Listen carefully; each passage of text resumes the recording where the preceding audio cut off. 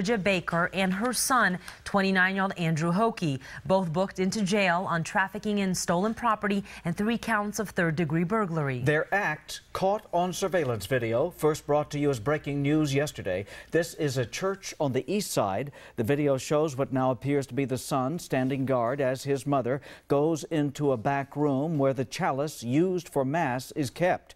Police say chalices have been stolen from three Catholic churches in the past month. And here is video of the two being arrested today. This after they showed up to a church and were recognized by clergy members. They were eventually arrested. As you see, police say they did find stolen items from the church on them.